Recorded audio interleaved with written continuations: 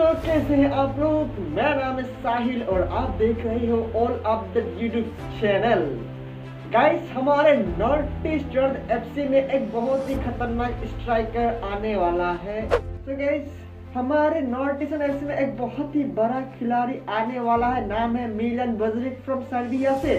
Guys इसका age 34 years and वो एक स्ट्राइकर है, बहुत ही खतरनाक स्ट्राइकर लास्ट क्लब है, लुकानी से है।